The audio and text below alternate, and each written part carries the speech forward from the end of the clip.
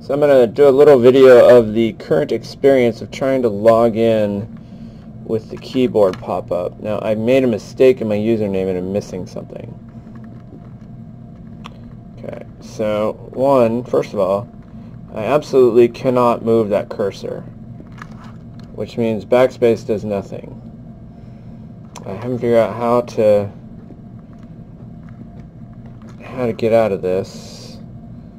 And tab button, which should take me to the next field, actually just inputs a tab, which it should not do in a line like this. It should take you to the next field. So tab is definitely not functioning. Also, my tab, that's weird. This is this shouldn't be giving me that weird, yeah, there's some weird interactive things with the key, with this focus button here. It shouldn't be doing that. It usually does not highlight quite like that. Alright, but even if I use my finger, I can't move that cursor. So, and as you can see, I, I can't really get to the password box either. So I have to close this, and I get to the password box, and it, it's immediately covered over. And my password's wrong, so I need to clear it. And again, I'm unable to do that. So, what is my workaround going to be? Well, I can't turn the keyboard off because I'm not logged in yet. So if my last setting was keyboard was on, then I'm stuck. This is going to continually pop up and I can't get around it. Um, that was interesting. I don't know what... Huh.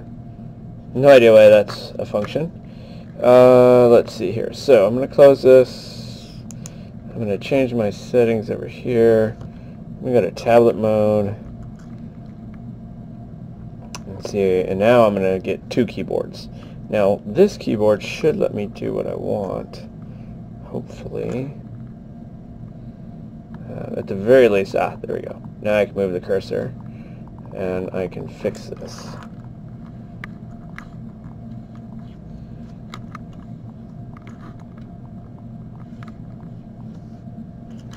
Oh, and I still messed up, because I forgot the dot. And for some reason it won't, we're not allowing a change of focus.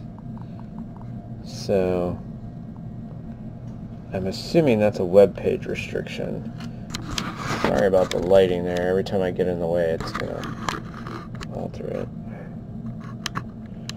Let me see if I can uh, turn this off.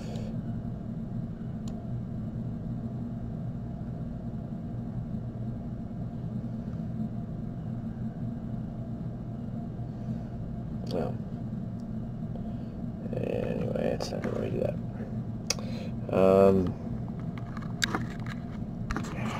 sorry.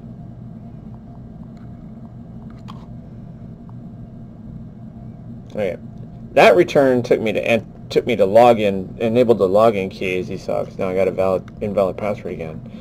So now I'm going to try to get to my password box, and if I use this keyboard that does weird things. If I use this one, I've got a, you can just barely see the keyboard through there. There we go. Anyway, you can see some of the problems here. So this on here is extremely difficult to use. Um, I would almost suggest not even allowing our, our keyboard to be enabled, at least on a tablet. Um, yeah, not good. Alright,